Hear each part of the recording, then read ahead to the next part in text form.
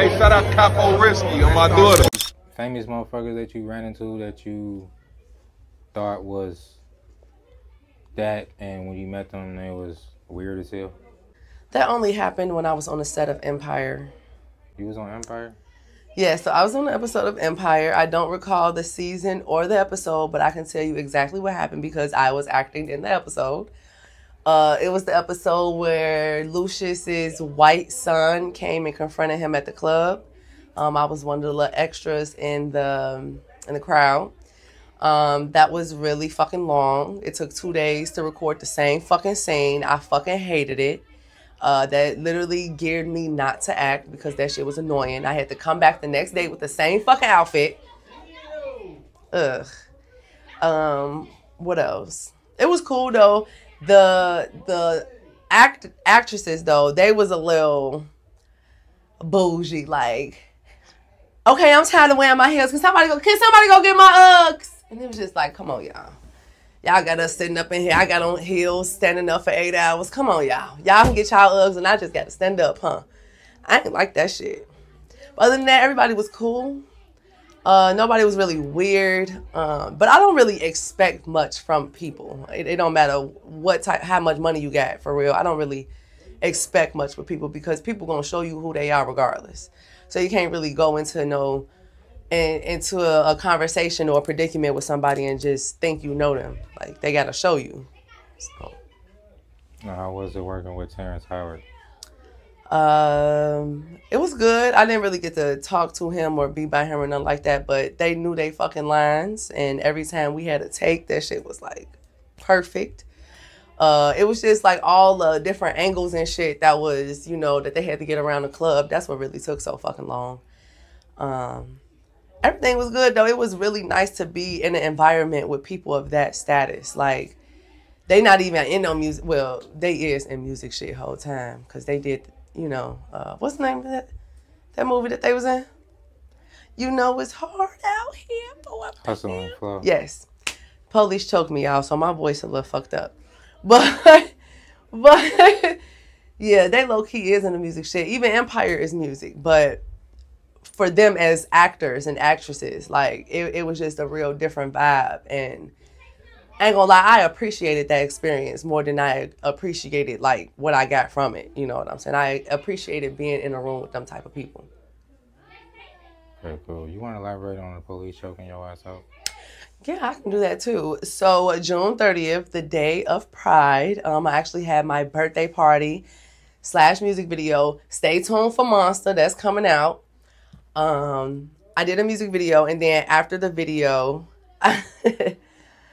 after the video, um, we was just driving, trying to get home. We ran into Pride. I had to pee outside. Come back to the car. Yes, I had to pee outside. No, that's usually that's female shit. for sure. Yeah, came back to the car. You The must have been police was like, "Oh, you can't walk in the street, so whatever." They pushed us out the fucking street, and when me and my homie turned around and kind of reacted to them, they got our ass. Shit, they pulled her by her hair, slanged her across the damn street. And once I saw that, I went and I grabbed her. And once I grabbed her ass, they choked me from behind. I don't even know who choked me, type shit. So you're saying a male officer choked you out? A man officer choked my ass out for 30 seconds. was he black or white? He was Hispanic, I believe. Oh. Ain't that some shit, bitch? I thought Hispanic uh, males like women like you. I thought they did too. That's crazy. Cause I didn't even touch nobody but her. I just pulled her away from the other officer. And he got behind me and choked my ass, literally like this. And I got asthma, bro. Like I just developed that shit last year. So don't do like what? I'm an artist. You don't fucked up my throat. Like they gonna they gonna get their shit. Fucking up your throat is crazy. They fucked up my throat. I can't even get the hooked correctly. Damn. Officer, you tripping. Oh, why is he texting me? The future future projects, what we got what, what you got coming? I got Cap Cap coming out with Big Mouth Bow. We also gonna drop a music video to our song 290 294. That's already out on all platforms. Um, I got a song with uh, Rio Badass. Um, Really dope artist. That song should be coming out soon. I hope Girl Don't Play With Me. I love that song.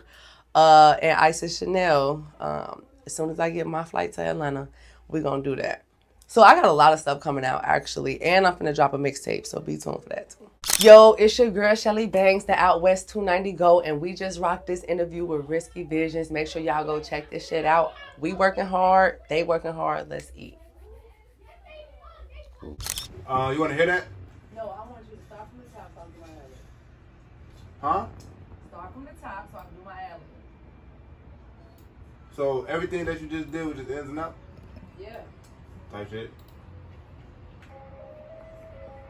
You got a point.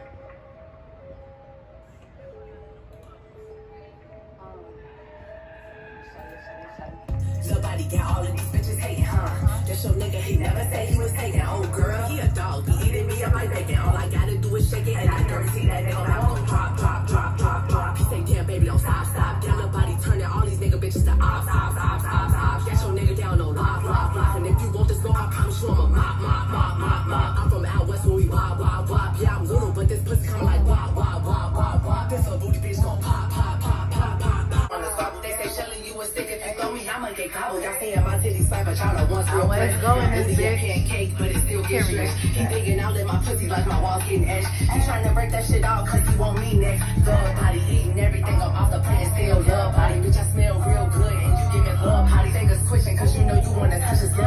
Bitch, it's Chelly with the body, you can call me Love Scotty. Bitch, Yo, it's Supreme Elite, right? That's his name. Yep. You you did you did. I did actually didn't watch it, but I seen that you work with him. I seen him on Facebook. I really don't know who he is like that, but how would it, how was it working with uh? uh He was been getting knocked out. Him and his brother. He was annoying. Yes, he is annoying. Like he's like that in real life. Yes. But I respect they hustle. I respect they, you know, what they doing. People like to react to negative shit. So why don't we bring some negative shit and try to make it, you know what I'm saying, clickbait type shit? Because once motherfuckers hear, oh, he's saying Chelly Banqz Music Week, blah blah blah, and you know what I'm saying, they go and go check it out themselves and see that I'm not really weak. It's just the content that he doing. So I appreciate him for that. It was it was dope. it was alley type shit. Yep. But did he? So he was really on the episode saying that your shit was weak. Yeah. How did you take that personal? No, because I don't give a fuck. I don't care. Hey, shout out Capo Risky on my daughter.